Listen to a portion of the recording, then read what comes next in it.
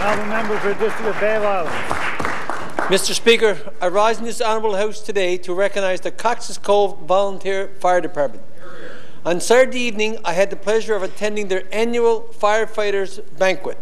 It was a great evening on honouring the contribution and dedication of this group of firefighters who have given their time and service to the town for so many years.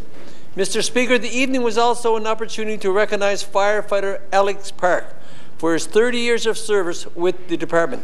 I had the honour of presenting Alex with the Governor General Exemplary Service Medal and the Provincial Firefighter Long Service Award. Alex also was presented with the Fireman of the Year Award. Firefighter Martin Burns was also recognized for his 10 years of service. Mr. Speaker, I would also like to recognize the Cox's Cove Firettes for their continued commitment and support. Firettes play a pivotal role in supporting volunteer firefighters, and this was demonstrated again Saturday evening with their generous donation to the fire department. Mr. Speaker, I ask all members to join me in congratulating the Cox's Cove volunteer firefighters and fire firettes on their continued service to their town and to all volunteers who contribute in making their communities a better place to live. Thank you, Mr. Speaker.